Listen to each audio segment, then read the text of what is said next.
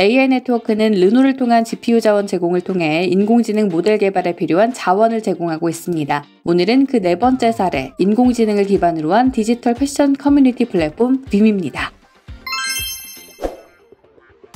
바이스벌사는 인공지능을 기반으로 한 디지털 패션 커뮤니티 플랫폼 빔을 런칭해 인공지능 및 패션 업계로부터 주목을 받고 있습니다. 빔은 전 세계 남녀노소의 공통된 관심사인 패션이라는 주제를 최신 기술인 생성형 AI에 결합해 누구나 자신이 원하는 패션 콘텐츠와 제품을 만들어가고 공유하는 것을 목표로 하고 있습니다.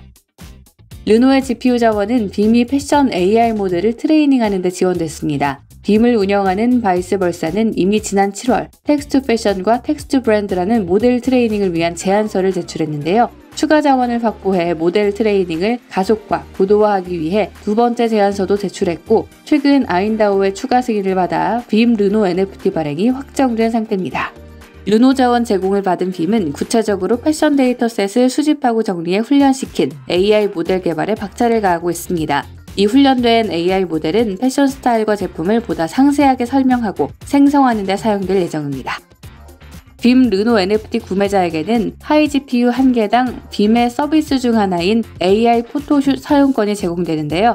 AI 포토슛은 최근 생성 AI 사진 합성 서비스로 인기를 얻은 스노우, 에픽 등과 유사한 서비스로 자신을 담은 이미지를 다양한 패션 스타일의 모델로 생성해주는 서비스입니다. 르노 NFT는 자원 제공자들과 인공지능 모델 개발자들을 직접 연결하고 있습니다. 자원을 보다 투명히 관리하는 동시에 인공지능 개발 생태계와 자원 제공자들이 서로 윈윈하는 시너지를 발휘하기 위해서죠.